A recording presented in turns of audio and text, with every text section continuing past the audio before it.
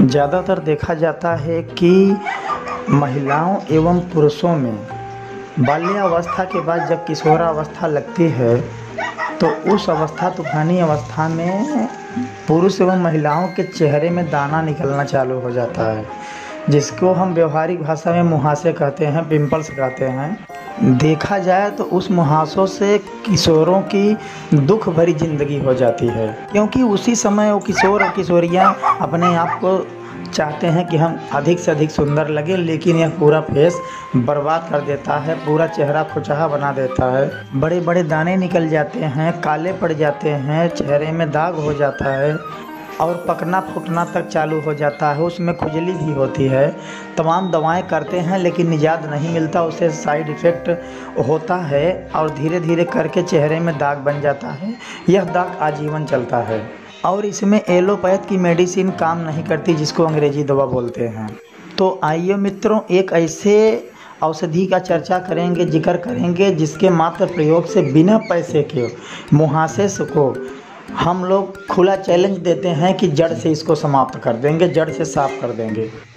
तो जिसका नाम है लेमन, यानी हिंदी में इसे नींबू कहते हैं।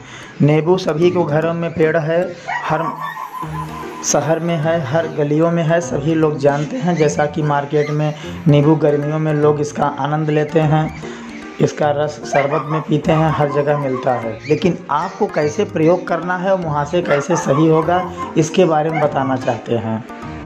तो मित्रों, नींबू का फल लेना है ऐसा फल जो पका न हो, लेकिन परिपक्व हो गया हो और उसकी ऊपर का जो परत है, जो छिलका है, वो हरा हो। और साफ़ सुथरा हो। ऐसे हरे नींबू को लेना है आपको।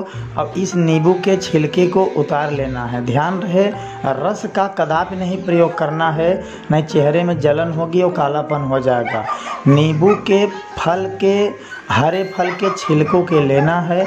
और इस छिलके को, ध्यान रहे, कम से कम दो से तीन नींबू का छिलका लेना है। और इस छिलके को आपको खलबट्टे में या सिलबट्टा पर जहाँ पर नमक और मिर्चा की पिसाई न होती हो, साफ़ सुथरे जगहों में इसकी पिसाई कर लीजिए।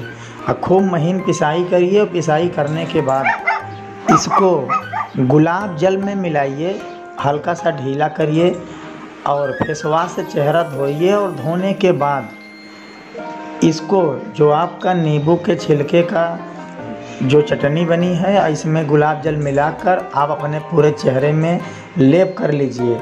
और लेप करने के बाद आप इसे अपने फेस पर कम से कम आधा घंटा पड़े रहने दीजिए, यह पूरा सूख जाएगा।